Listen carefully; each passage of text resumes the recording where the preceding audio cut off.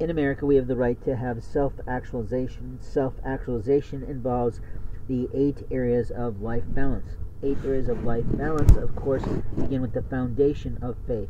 And as a part of my faith, as a part of my evangelism for paganism, I offer psychic readings, especially during Samhain, which is All Hallows Eve. But I would like to continue to do that through the winter months when people are putting together family events and needing some guidance in what to do, what to say, what to cook, and how to handle sometimes tough times with direct family, with, in other words, third party family members, and extended family members or just friends because they have left those original uh, organizations in their life and produced their new ways of life in a family of choice. But to offer this invitation, I'm actually offering it to a specific group.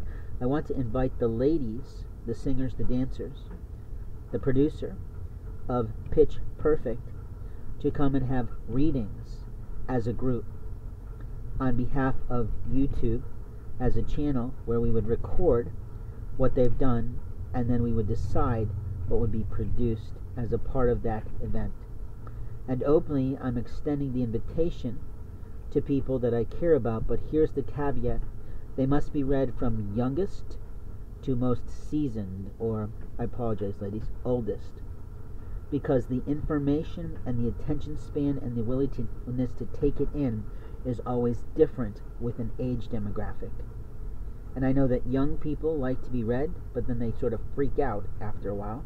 So they're going to need their more seasoned, more experienced, more worldly friends and family to help them work it out.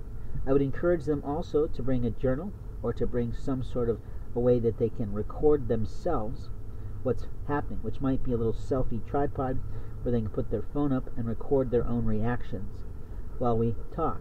And that could be interesting content for their own personal promotion of themselves as different type of people.